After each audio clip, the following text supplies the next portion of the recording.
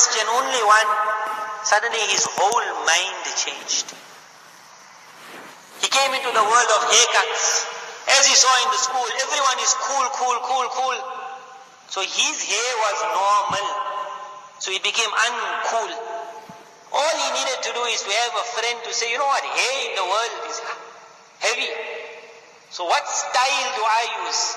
So one email would have told him that just think of this. If you cut your hair in a manner which is not allowed, do you see it? And how long you see it? So the answer will be a few minutes. I look in the mirror.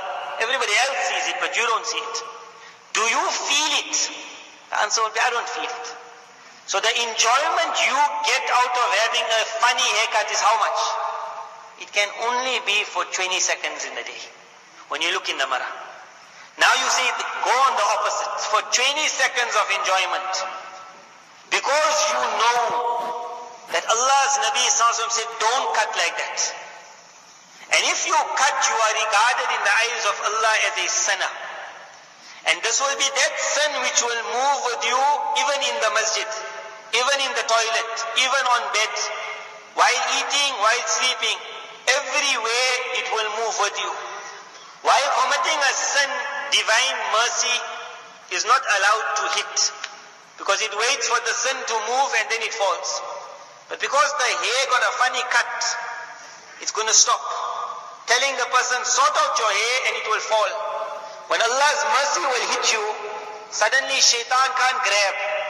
Now you can't get pulled towards dirt. Now you won't get so many filthy thoughts.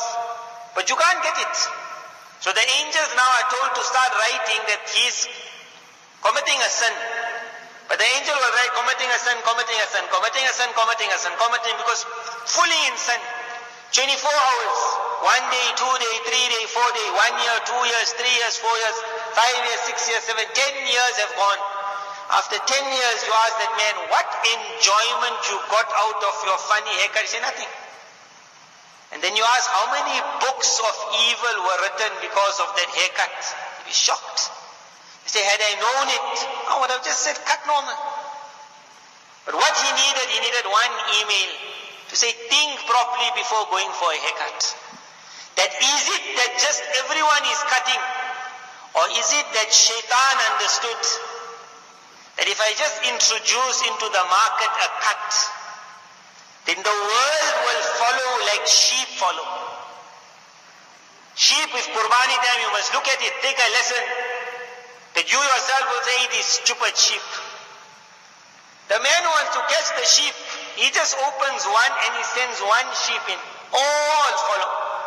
Not one sheep will say, you already did this yesterday, I saw you caught the other ones, I'm running that side. Never say it. But man does the same. Any new gimmick that comes out, he won't ask because he got no friend to ask. So because my friend in school is doing it, I need it also. Whatever he got, I got. And suddenly, 10 years later, you are a new person. When someone will ask you, why are you doing this? You say, I don't know, everyone does it.